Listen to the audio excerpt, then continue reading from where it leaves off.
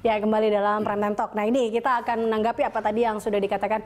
Pertama kita lihat apa yang dilakukan atau pidato yang di, uh, bicak, uh, diutarakan oleh Jokowi dan juga Ma'ruf Amin. Ini dia mengatakan bahwa terima kasih kepada masyarakat tentunya dengan hasil yang sudah keluar.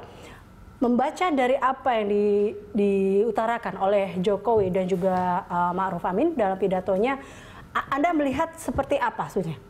Boleh deh, uh, Bang Eriko. Oh saya saya dulu.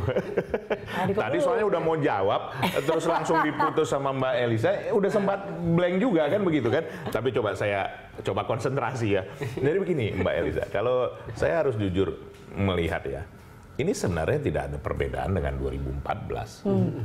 Sebenarnya ya ini pengulangan sejarah saja. Dan kalau saya mau sampaikan, saya secara pribadi tentu mengapresiasi apa yang disampaikan oleh Pak Prabowo tadi kalau bicara kan kita berbicara kepada pasangan mitra hmm, kompetitor ya, kita ya. lah terlebih dahulu bahwa uh, beliau akhirnya menempuh uh, jalur konstitusi. Betul. Karena kalau di luar jalur itu yang dirugikan pasti masyarakat dan rakyat. Karena seperti saya sampaikan tadi, sebenarnya untuk terlalu jauh bukan tidak mungkin, mungkin itu agak sulit dari prakteknya di lapangan jujur saja setelah nanti di TPS kan semua menyaksikan. Dan pertama kali di di apa dibuka itu surat suara adalah untuk pilpres. Jadi masih segar. Bicara jujur ini terbuka dari praktiknya. Kemudian sesudah itu selesai dari TPS ke, uh, sudah langsung ke tingkat kecamatan okay. di situ masih ada kemungkinan tapi semua juga menjaga, khusus untuk pilpres. Justru yang paling banyak permasalahan adalah pileg. pileg. Tadi saya sudah betul. sampaikan uh, di awal. Itu Jadi, yang tidak terlihat ya, karena semua ya, terfokus pada pilpres. Betul. Dan ini dengan ya tentu kalau ada data-data tentu ada bukti-bukti kan tidak ada yang keliru hmm. kalau ini diajukan ke MK. Memang seharusnya seperti itulah.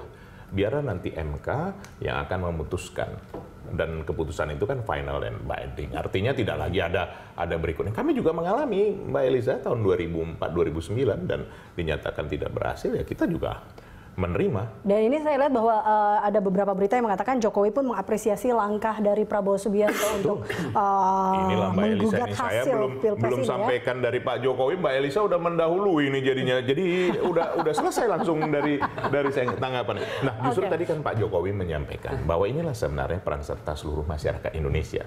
Kalau dilihat, Mbak, apa nggak luar biasa? Lima kertas surat suara, hmm. Kang Gun Gun.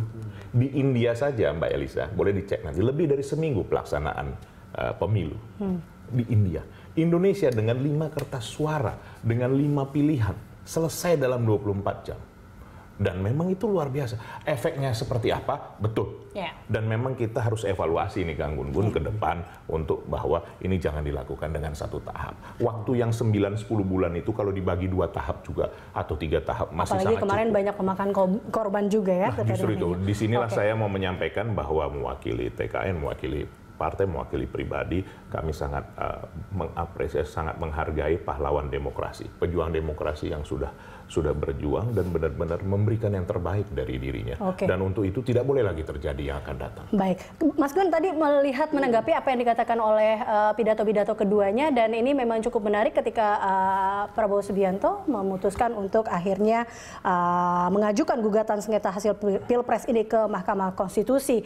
Bahkan ia mengatakan bahwa dalam pidatonya uh, dia katakan benar-benar menjunjung tinggi kehidupan hukum dan kehidupan demokrasi di sini. Anda melihat bahwa sama seperti 2014 juga akhirnya ia menggunakan jalur uh, hukum ini uh, menuju MK. Ini menjadi konfirmasi sebetulnya bahwa pada satu titik turbulensi itu itu akan terkanalisasi lewat jalur hukum. Hmm. Itu 2014 kan juga demikian. Ada memang apa kegamangan yang muncul di masyarakat pasca pencoblosan, tetapi pada akhirnya Pak Prabowo juga sangat menghormati pada proses hukum. Bahkan datang pada saat pelantikan Pak Jokowi. Pak Jokowi, kan? ya. Kemudian begini yang menarik. Pak Jokowi tadi memberi statement di pidatonya. Satu yang saya kasih garis bawah yang menarik. Menjadi presiden 100% orang Indonesia. Iya. Ini bukan uh, presiden TKN. Bukan presiden PDI Perjuangan. Iya. Presiden 100% orang Indonesia. Indonesia. Ini komitmen loh. Ikrar bukan hanya normatif. Tetapi uh, sebuah pernyataan presidensial. Dan itu pernyataan presidensial itu bukan hanya butuh impresi atau kesan, hmm. tetapi butuh pengejawantahan dalam konteks kebijakan dan laku politiknya. uh, mulai hari ini, mulai nanti apalagi dilantik uh, pada saat mandat disematkan tanggal 20 Oktober, kalau nggak salah, itu maka sejak itulah punya tanggung jawab besar untuk meninggalkan legacy di periode kedua. Kalau hmm. tidak, maka dia tidak akan diingat di periode kedua dia akhir jabatan itu sebagai pemimpin transformatif. Itu yang pertama. Yang kedua, yang menarik dari pernyataan Pak Prabowo adalah uh, menyatakan secara terbuka dan ini kali pertama bahwa akan mengikuti uh, Mahkamah Konstitusi. Konstitusi. Berarti jalur konstitusional. Iya. Dan itu bagi saya adalah berkah hari ini yang kita terima sebagai bangsa Indonesia. Kenapa? Karena kita melihat bahwa di satu titik itu kita berjalan dalam proses konsolidasi demokrasi itu pasti ada tepiannya. Hmm. Jangan sampai kemudian kita masuk ke dalam jebakan demokrasi Mobius. Mobius itu istilah dari Ferdinand August Mobius itu yang disebut dengan Mobius strip atau pita Mobius seperti angka 8 yang ditidurkan atau alias non orientable object. Jadi kita berjalan tidak ada ujung pangkalnya. Nah itu berbahaya bagi demokrasi Indonesia karena tidak akan pernah bisa berakselerasi menjadi negara yang lebih besar lagi dibanding hari ini. Gitu. Oke, hmm. kita sudah melihat keduanya sudah memberikan speech. Hmm. Kita harapkan tadi balik lagi bagaimana akhirnya kita merajut kembali persatuan itu. Apalagi uh, dari pidato kemenangan dari Jokowi Ma'ruf pun akan menjadi presiden 100% yeah. uh, rakyat Indonesia. Nah, ini kan kemudian sudah tidak ada lagi 0102, yeah. tidak ada lagi TKM BPN, tapi yeah. adanya Indonesia, Indonesia di sini.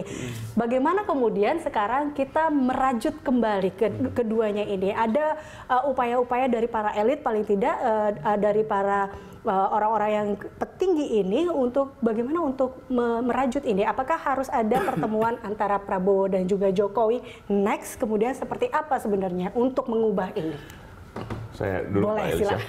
Mbak Elisa Udah nafas duluan soalnya. Nah, tadi saya pikir mau dipotong lagi. Jadi udah siap-siap uh, apanya, okay. narik napasnya begitu supaya jangan hilang lagi kan begitu.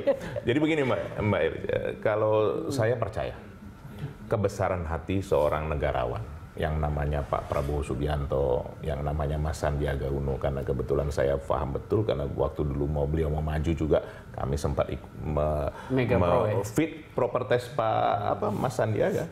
Dan saya percaya betul Pak Jokowi dan Kiai Haji Ma'ruf Amin bahwa mereka kan adalah yang terbaik dari yang terbaik. Adalah menjadi pemimpin bangsa Indonesia ini cita-cita dan untuk kebaikan masyarakat Indonesia apakah ingin mengorbankan masyarakatnya? Tidak mungkin, Mbak Elisa. Hmm. Tidak mungkin.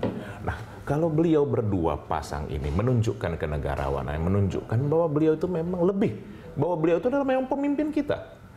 Itu pasti akan mempengaruhi semua ritme dari siapa pun yang ada di bawahnya. Nah, kami di, di TKN sendiri, di tim kampanye nasional, itu beliau meminta begitu. Dan kami menunjukkan, Mbak Elisa mungkin tidak percaya, kemarin kami sama-sama di media dengan Mbak Dian Islami Fatwa, putrinya Pak AM Fatwa, kami berbeda pendapat di media televisi kemarin, bahwa beliau juga kan mengajukan gugatan ke ya. Bawaslu, bahwa saling menghargai, bahwa silakan, memang itu hak untuk menggugat. Tidak ada yang melarang. Dan kami pun tidak marah, tidak benci dengan Mbak, kita boleh berbeda kali ini. Sebagai apa? Apa yang kita yakini? Apa yang kita perjuangkan? Pemimpin kita yang membawa Indonesia lebih baik ke depan.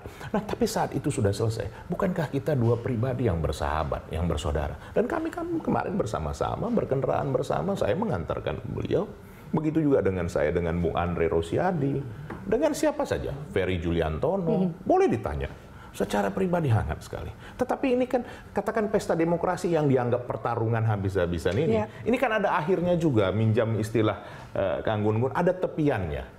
Hmm. Akhirnya nggak mungkin juga di tengah-tengah laut di tengah danau kehabisan nafas juga semua. Ya harus ke tepi, harus selesai juga. Nah selesailah ini dengan baik. Kalaupun ini sudah selesai dengan faktor hukumnya, apa pun hasilnya nanti kita terima hmm. bahwa kita ini satu bangsa. Ya. Janganlah kita mengorbankan kesepakatan besar di mana Indonesia ini didirikan oleh founding fathers kita, kemerdekaan tahun 45. Tentu ini harus berlanjut terus. Mbak bayangkan 2045 nanti 100 tahun Indonesia kekuatan nomor 4 terkuat di dunia. Apakah kita mau mengabaikan hal itu? Tidak juga. Saya meyakini ini. Ini hanya proses waktu Mbak Elisa. Kita tunggulah beberapa menuju waktu Indonesia lagi. yang lebih baik Indonesia ya. Oke. Okay. Pak Gunggun ini sekaligus uh, closing statement Ya. Jadi saya, apa yang memang harus dilakukan untuk kedua kubu atau elit uh, ya paling tidak pemimpin dari kedua uh, calon presiden yang sebelumnya ini ya? Yang pertama tentu prakondisi ini nggak bisa dipaksakan. Maksud saya ini kan momentumnya belum tepat untuk mempertemukan. uh, mungkin pertemuan uh, antar second layer dari masing-masing kubu itu hmm. penting dilakukan. Contoh misalnya tim-tim inti itu di panggung belakang di backstage itu bisa bersilaturahim dan itu membangun komunikasi politik hmm. untuk menciptakan understanding. Paling tidak yaitu tadi merestriksi uh, tendensi-tendensi yang mengarah ke konflik horizontal dan itu perlu dilakukan oleh menurut saya kedua kubu. Itu yang pertama. Yang kedua, kalau semua udah tuntas, ada pelantikan presiden baru, nanti itu bisa diinisiasi pertemuan antara Pak Jokowi dengan Pak Prabowo. Atau bahkan mungkin menjelang pelantikan. Seperti 2014 dulu, kan tidak ada inisiatif untuk mempertemukan beliau dan di situ menurut saya akan jadi panggung publicity yang bagus untuk kedua belah pihak. Hmm. Uh, baik Pak Jokowi maupun Pak Prabowo. Bahwa kita pernah punya cerita dua orang berkompetisi begitu hebat, begitu dahsyat dengan luar biasa energi melimpah ruah dan sepertinya mencekam tetapi kalau mereka pada akhirnya kemudian bertemu itu akan menjadi respect publik yang luar biasa tingginya menurut mm -hmm. saya. Kemudian yang ketiga, ini penting juga. Di akar rumput itu nggak bisa hanya diselesaikan oleh politisi. Itu butuh yang disebut dengan energi melimpah dari tokoh yang bisa memberi semacam kasih pada banyak hmm. orang. Yaitu siapa? Ya orang-orang figur-figur eh, tokoh agama, tokoh budaya, mungkin akademisi, mungkin juga pegiat NGO dan lain-lain untuk kemudian sama-sama memastikan bahwa kohesi sosial politik itu itu bukan hanya agenda partai politik atau ya. agenda politisi. Di situ menurut saya uh, penting juga peran media. Contohnya misalnya adalah bagaimana menciptakan atmosfer political news framing yang kemudian justru juga membuat suasana lebih kondusif. Hmm, gitu. Oke, okay. jadi ini sebenarnya PR untuk kita semua yeah. untuk merajut kembali persatuan. Kalau dilihat beda-beda boleh, tapi sudah selesai yeah, perbedaan seperti topik itu kita ya? hari ini, ini kan sebenarnya cooling down kan, yeah. dan itu bagus. Kalau kemudian terlalu banyak misalnya narasi-narasi kebencian, itu dengan sendirinya akan yang ada yang disebut replikasi tindakan, hmm. dan itu bisa salah satu faktor stimulan itu dari media. Oke, okay, baik. Dan Berarti... pertemuan kita di sini kan cuma bertiga, Mbak. Ah. Dan yang kita mau bahas ini kan sila ketiga Pancasila Persatuan, Persatuan Indonesia. Indonesia. Jadi kembali ya, lagi, oke. Okay. Kembali ke sana. Kita kita sepakat bahwa inilah saatnya kita merajut kembali iya, Persatuan ya, Indonesia. Indonesia. Bersatu kita tahu bahwa berbeda-beda boleh. Kita tetap satu. Satu, berbeda-beda boleh, tetapi ingatlah kita tetap Indonesia, Indonesia. di sini ya. Baik, terima kasih Mas Gun Gun dan juga Sama Bang Eriko telah bersama kami dalam Prime Time Talk. Pemirsa demikianlah Prime Time Talk kali ini. Anda bisa mengirimkan informasi dan saran kepada kami lewat email di redaksi berita 1 TV atau follow kami via Twitter, Facebook, YouTube, dan Instagram.